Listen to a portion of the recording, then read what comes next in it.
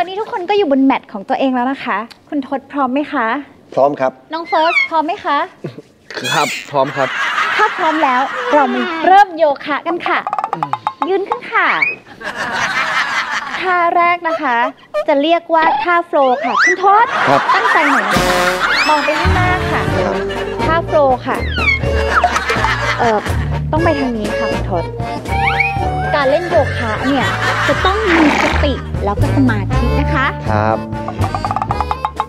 มีสมาธิหน่อยนะฮะ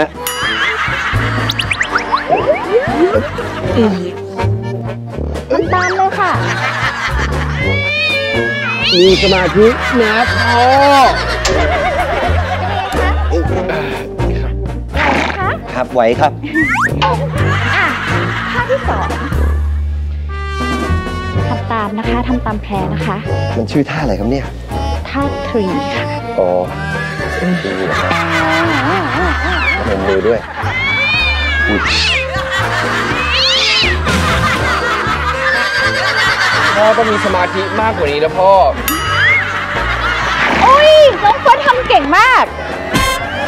คุณทบได้ค่ะได้ค่ะ อีกนิดนึงค่ะ อีกนิดนึงค่ะ อีกนิดนึงค่ะ ดีเลยค่ะ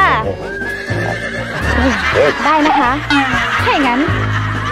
อีกท่าหนึ่งวันนี้เราจะเริ่มกันสามท่าก่อนครับ ท่าสุดท้ายเรียกว่าท่าคันธนูค่ะ โอ้โหยืดอย่างนี้เลยนะคะครับยืดให้สุดค่ะ โอ้โหได้ไหมคะอย่างนี้นะฮะใช่ค่ะ อึ๊บจับดีๆนะคะครับสมาธิค่ะ ยืดค่ะ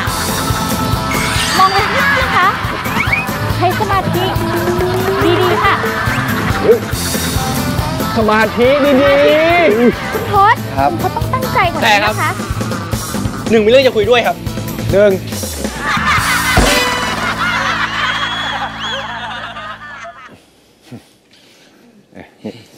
ตามพ่อมาคุยทางนี้หน่อยสิ คุยกับคุณพ่อ เดี๋ยวเรามาเล่นโยคะต่อกันเนาะ